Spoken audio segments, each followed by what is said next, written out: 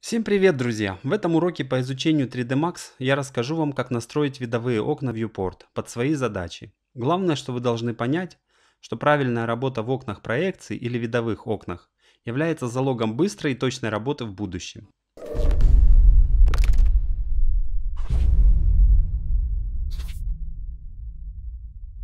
При построении любой фигуры мы видим ее сразу во всех окнах проекций. Так, пирамидка. Торус. О, и она везде отображается, да, во всех окнах. Для того, чтобы перейти к фигуре в любом из видовых окон, допустим, Тор, выделяем ее здесь, нажимаем правую кнопку мышки и переходим в это окно, допустим, в окно фронт. Отпускаем правую кнопку мышки, зажимаем левой кнопкой мышки фигуру и тянем ее. Вот, пожалуйста. Если же мы сразу перейдем в другое окно и нажмем левую кнопку мышки, то выделение снимется. Это очень полезно, когда нужно выделить точки или один объект среди множества и не потерять его выделение. Активная желтая рамка вокруг окна показывает, в каком вьюпорте вы находитесь в данный момент. Теперь поговорим об управлении и переключении видовых окон. Изначально мы видим 4 видовых окна. Если же нам надо увеличить обзор объекта, переключаемся в одно окно проекции горячей клавиши Alt-W. Если хотим вернуться обратно, снова нажимаем Alt-W. Также для переключения в каждое из видовых окон в программе назначена горячая клавиша по названию проекции. Допустим, вид слева – это клавиша F. Вот раз, нажали, перешли в клавишу фронт. Теперь давайте переключимся опять в полный режим да, видового окна. Здесь нажимаем L, Left. Переходим в левую проекцию. Нажимаем T, Top. Переходим в проекцию сверху. Теперь нажимаем Alt, Alt, W и возвращаемся снова в 4 видовых окна.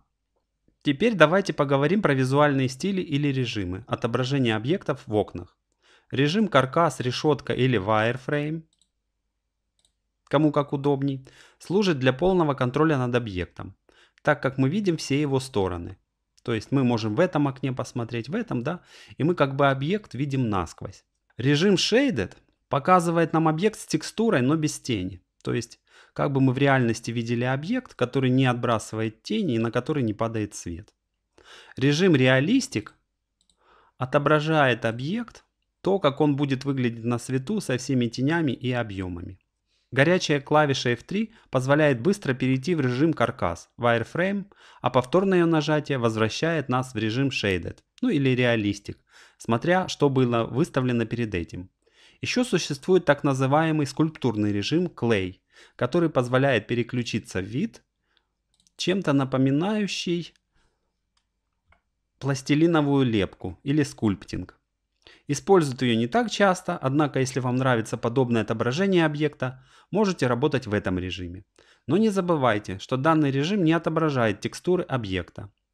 Есть еще несколько визуальных стилей, но все они либо неэффективны, либо используются слишком редко. И ими можно пренебречь. Такие как, допустим, Bounding Box, который показывает только габаритную рамку объекта. Режим Hidden Line, такие линии черно-белые, хотя кому-то может быть удобно в этом режиме работать.